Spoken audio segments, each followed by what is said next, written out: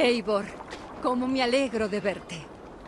Dioses, parece que hayan pasado siglos. Valka, amiga mía, aquí siempre eres bienvenida. ¿Estás bien? Mejor que bien. Estoy presente. ¿Y tu madre? Al fin ha llegado la paz. Camina por un mundo que tan solo he visto en sueños. Y así será por toda la eternidad. Es todo cuanto podemos desear. Así es. Ven. ¿Cómo ha ido tu travesía? Agotadora.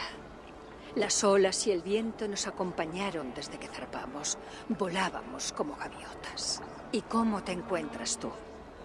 A pesar de tu aspecto estoico, el brillo de tus ojos me resulta cálido. Tal vez sea la esperanza. El asentamiento crece, pueblo es feliz y yo ansío ver qué me depara el futuro. ¿Y tus visiones? Van y vienen. Pero dejemos ese asunto.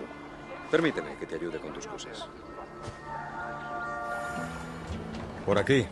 Te hemos encontrado un buen lugar al pie de la colina. Mm. He pasado toda la travesía intentando invocar en mi mente una visión de este lugar. ¿Y cuánto lograste ver? Vi los árboles y el agua y la colina ondulante, pero no llegué a imaginar tanto verdor. Es un color reconfortante para unos ojos cansados de la sal marina. ¡Valka! ¡Por los dioses! ¿Qué te trae aquí? Espero que nuestro asentamiento no esté maldito. La única maldición que asola este lugar es la patanería del herrero. Resulta extraño surcar el mar y aún así sentirse como en casa. Este lugar parece rebosar energía, vida. ¿Prevés un gran futuro ante nosotros? No hace falta preverlo. Lo siento en el corazón. Toda esta gente que has traído hasta aquí. La vida que has comenzado en estas costas extrañas. ¿Esto te complace? Sin duda. Es un regalo saber que he construido este lugar y que protejo a esta gente. Cuando te he preguntado, has hablado primero de ti. Y pienso que eso dice más de lo que crees.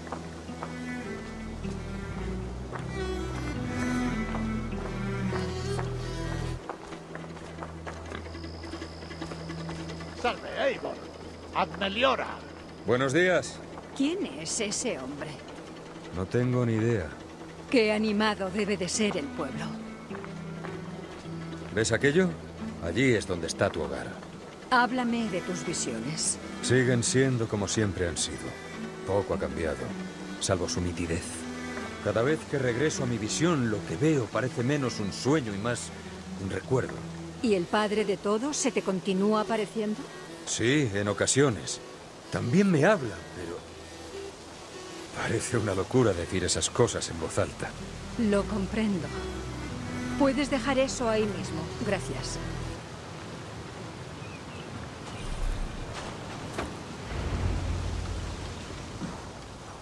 Hemos llegado. Es precioso, tal y como me prometiste.